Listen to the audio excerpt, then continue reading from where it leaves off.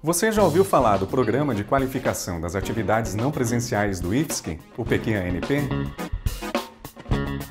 Ele foi criado pela Pró-Reitoria de Ensino em 2020, durante a pandemia, e busca dar apoio técnico aos docentes para a produção de conteúdos e organização de ambientes virtuais de ensino e aprendizagem.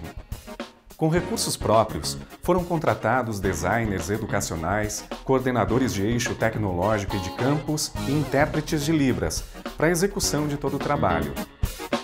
Na primeira etapa do programa, realizada de novembro do ano passado a julho deste ano, foram qualificados 1.600 objetos de aprendizagem, entre textos didáticos, slides, podcasts e mais de 900 videoaulas, sendo que parte delas agora conta com a tradução em Libras. Foram ainda criados 80 ambientes virtuais de ensino e aprendizagem no Moodle, materiais que poderão ser acessados por estudantes, servidores e, claro, a comunidade externa. Se interessou pelo programa? Ainda dá tempo de participar e ter seus materiais qualificados.